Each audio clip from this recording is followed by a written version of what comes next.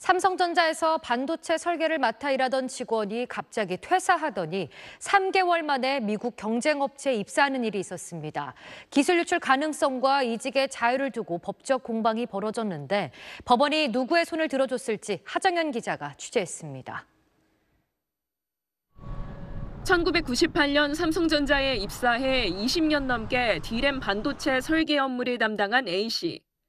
D램 책임 수석 연구원을 거쳐 담당 팀의 프로젝트 리더로 근무할 정도로 핵심적 역할을 했습니다.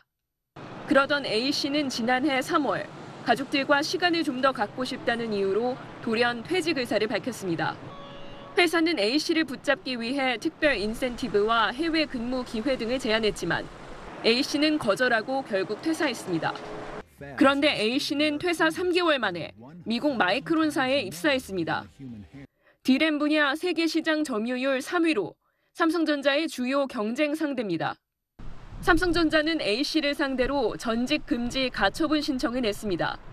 영업 비밀이 유출될 수 있어 퇴사 뒤 2년간 경쟁업체에 취업하지 않겠다는 서약서를 제출받았는데 A씨가 이를 어겼단 겁니다. 반면 A씨는 자신이 전직 금지 약정에 따른 대가를 받지 못했고 약정 자체가 직업 선택의 자유를 지나치게 제한한다며 무효라고 맞섰습니다. 재판부는 둘 사이 맺은 약정은 유효하다며 A씨가 내년 4월까지 관련 업계에 종사해선 안 된다고 판결했습니다. 재판부는 A씨는 D램 설계뿐 아니라 장기 개발 계획 수립에도 관여했다면서 D램 기술은 국가 핵심 기술이기에 직업 선택의 자유를 일부 제한하더라도 공공의 이익이 있다고 강조했습니다.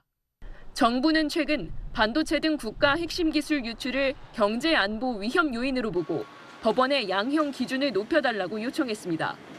SBS 하정현입니다.